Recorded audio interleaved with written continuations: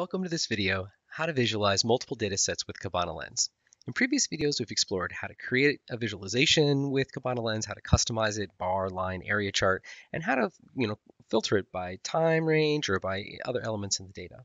In this um, example, we're actually going to talk about how to take two indexes or two data sets and actually look at them at the same time stacked on one on top of another.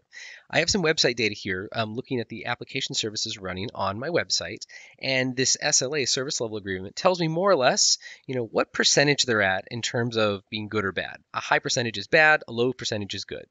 In this case, I can see all of it aggregated together, but what I really want to know is based on each specific service, how is that SLA doing?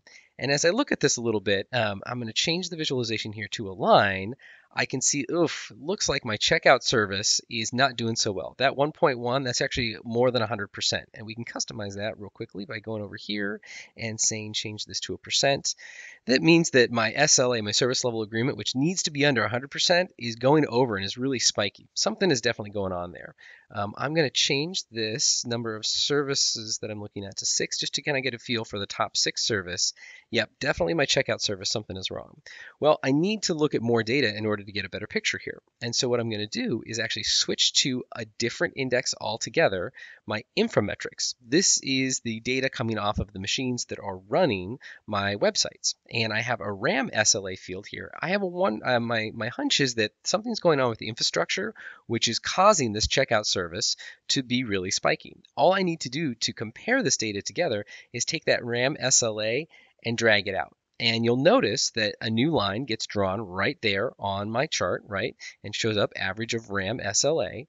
Um, as I look at this, you'll see on the right-hand side here that Kibana Lens has actually created an entirely new layer specific to that Inframetrics index that I'm using. It automatically dragged out timestamp just like it did before. I can even take service name and drag that out here into, in the breakdown by.